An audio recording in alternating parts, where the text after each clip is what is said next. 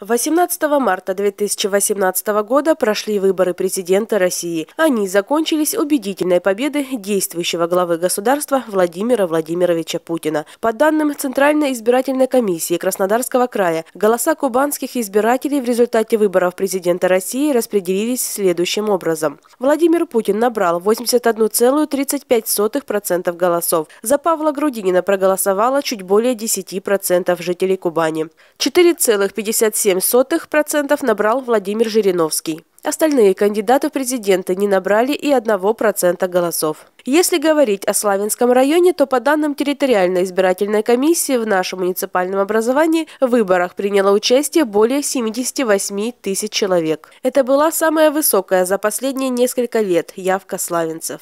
По итогам участковых избирательных комиссий или по итогам представленных протоколов участковых избирательных комиссий, значит, выборы состоялись. Значит, все, на всех избирательных участках э, прошли выборы нормально, без замечаний. В целом по району замечаний никаких у нас нет.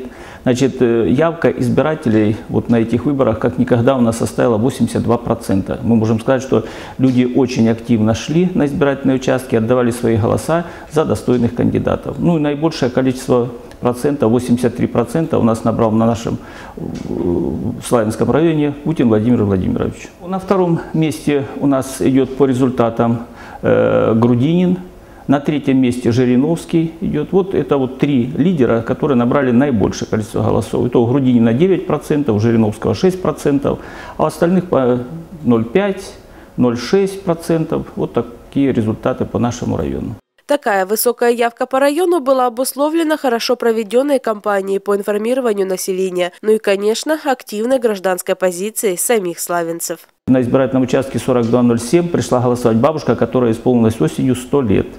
Другой бабушке было 85 э, лет пришла. Голосование не помещение. У нас есть избиратель, которому 102 года. Это Протокское сельское поселение, которые активно приняли участие в настоящих выборах.